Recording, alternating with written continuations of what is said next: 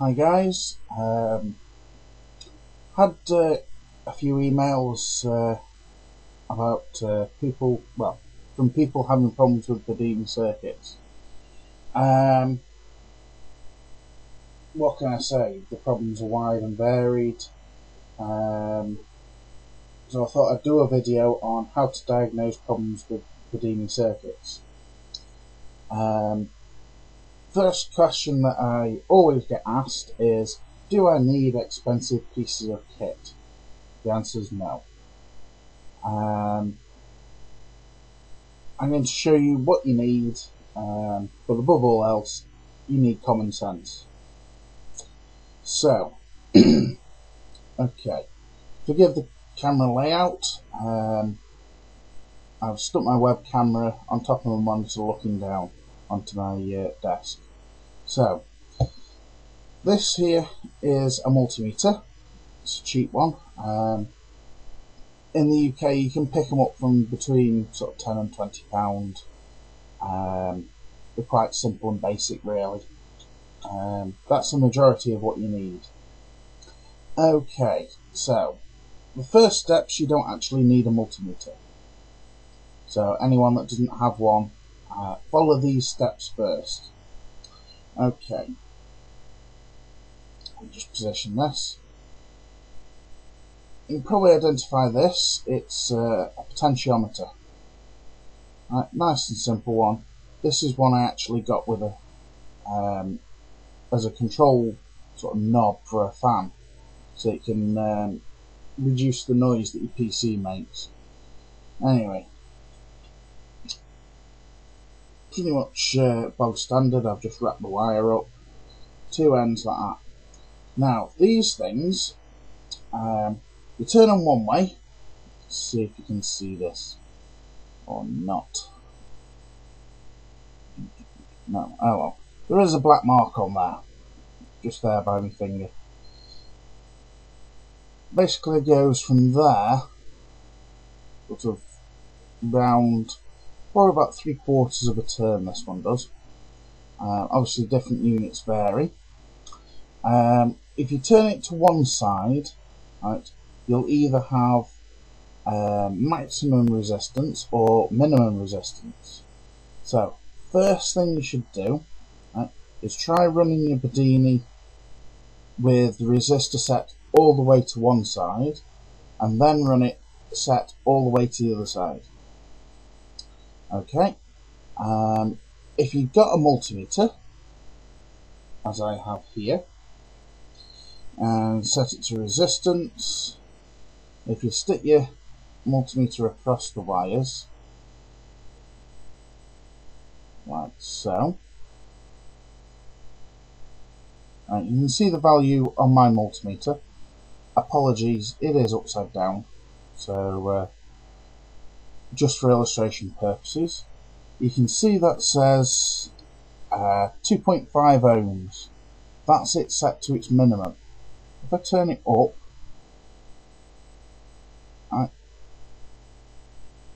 I've only turned it up a bit and that's gone to 35 ohms, 120, 130 ohms and so on. This one goes up to 10 and a half kiloohms. Right, so with it set to its minimum, okay, um, that's how you should start the Bedini. So, is one I have here.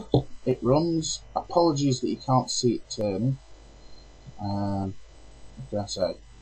It quite hap happily runs, no problem. So I just stuck it here for uh, illustration purposes. Here I have two lots of the Bedini circuit.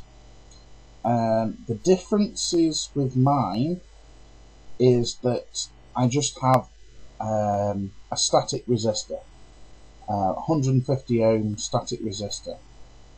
Um, simple reason being that, uh, well, these uh, Bedini fans, you know, the PC fans that you get, um, they seem to function best between 150 ohms and 300 ohms. So if you use the potentiometer that goes up to 10 kilo ohms, I only have to turn it a small amount to be out of range and of course then it'll stop. So um, basically what I've done quite simply is using my potentiometer here I found um, the resistance that was best for my Bedini fans and then found a uh, static resistor um, to take its place. No need to have potentiometers all around. But then again, I'm I'm building multiple Bedini circuits, so for me, that's a better way of doing it. Um, but for everyone else that's just built a Bedini to uh, to do whatever with, really, um, you probably are be better off using a potentiometer. Okay, so you set your potentiometer to one side, you set it to the other side, still not working. Right. Okay. On each Bedini, uh, actually, there are four wires that come out.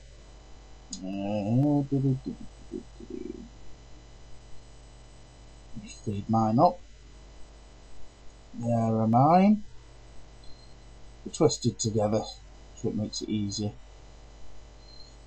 Right, okay. You'll have one pair for the trigger coil and one pair for the um, um, the firing coil. Okay. Now, if you flick the Bedini and it stops, um, there can be multiple reasons for it. First one is you'll have a pair of wires for the trigger coil. Right. First thing is swap them over. Right. Um, sometimes the uh, the polarity for the um, um, the polarity going into your um, transistor is the wrong way around. So swap them over, try that. Right.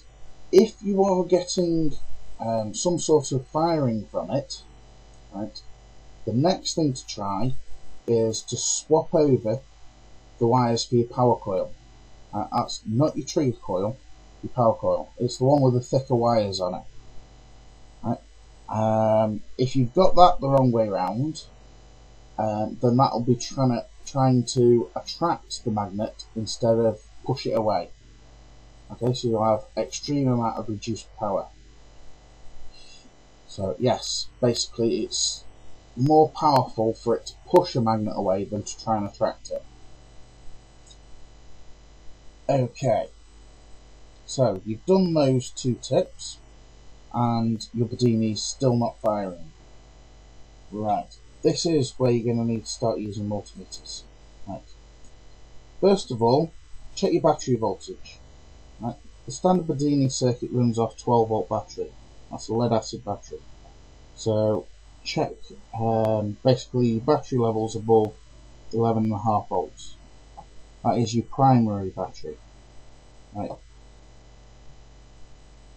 If that's okay, uh, provided well, if you're running large Bedinis, um, then basically disconnect your um, secondary battery, the one that's being charged, and try it again. Um, sometimes an extremely low um, secondary battery can stop the Bedini dead in its tracks and stop it from turning over. Okay, so try that.